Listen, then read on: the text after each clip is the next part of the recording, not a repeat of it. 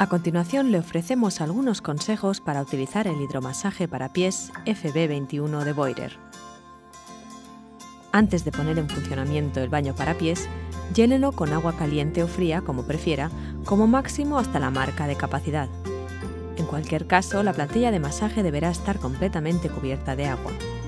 El baño para pies solo estará compensado si se llena hasta la marca de capacidad. De lo contrario, puede volcarse al utilizar el asa.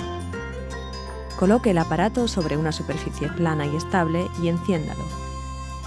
Siéntese en un lugar cómodo y coloque los pies sobre la plantilla de masaje ejerciendo una ligera presión. Tenga cuidado de no ponerse nunca de pie dentro del baño para pies. Encienda ahora el aparato con la tecla de función.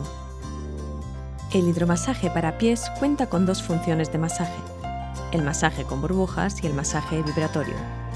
Con la función 1 se activan el masaje con burbujas y luz infrarroja y la regulación de la temperatura del agua. El masaje vibratorio puede activarse con la segunda tecla de función. Esta función no puede activarse por separado. Moviendo los pies hacia adelante y hacia atrás sobre los cuatro rodillos de masaje integrados en la plantilla de masaje, se consigue un efecto de masaje especial. Los rodillos de masaje también se pueden retirar si se desea. En el centro del baño para pies puede colocar otros accesorios. El accesorio de cepillado sirve para estimular las zonas reflejas de la planta de pie.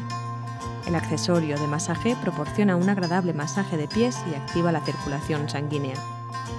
El eliminador de durezas permite eliminar durezas y células cutáneas muertas. Vacíe el baño para pies después de usarlo.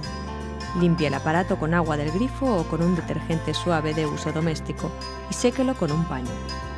Para secar los conductos de aire, active tras la limpieza el nivel de burbujas sin agua durante aproximadamente un minuto.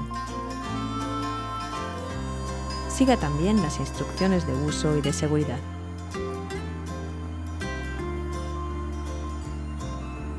Esperamos que disfrute de su baño para pies FB21 de Boiler. Cuídese.